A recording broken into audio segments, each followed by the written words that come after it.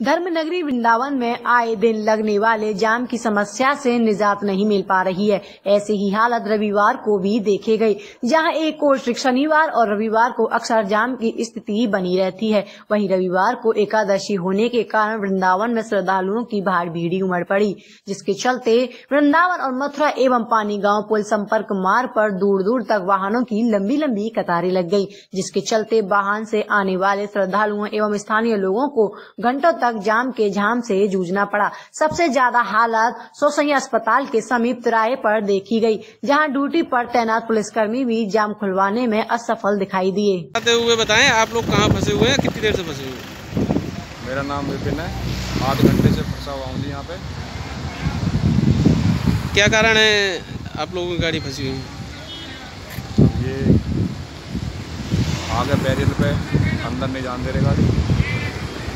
लगभग कितना लंबा जाम होगा? ये है कम से कम दो किलोमीटर का जाम।